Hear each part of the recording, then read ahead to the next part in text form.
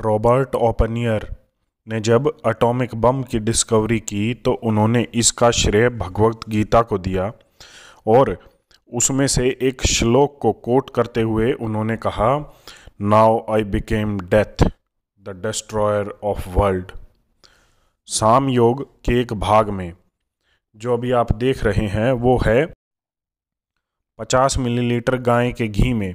जो बहुत गर्म हो, हुआ हो, उसमें 50 मिलीलीटर गाय का दूध प्रक्षेप किया जाता है तो परमाणु विस्फोट जैसा परिणाम मिलता है, जो अभी आप स्क्रीन पर देख रहे हैं। सोम याग का ये भाग है, तृप्ते घरते प्रे, प्रक्षेप है।